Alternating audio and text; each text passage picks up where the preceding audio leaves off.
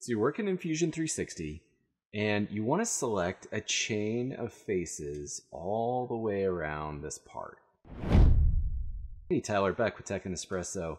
I'm trying to do what I would call chain of faces in other CAD tools where you come around and select everything.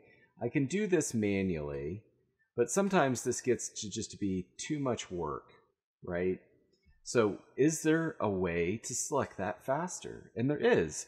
Go up to select, find selection priority, face. So when I go select drag all the way to the left, it selects these things. The bummer is it is grabbing these interior faces as well.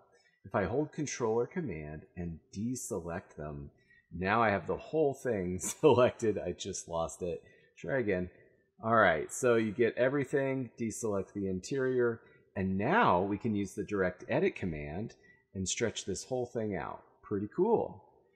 All right, same thing. What if we want to do the bottom plate now, right? So drag to the left, it grabs all those faces, but again, yes, it grabs those lower holes as well, so I can deselect those if I want to remove them.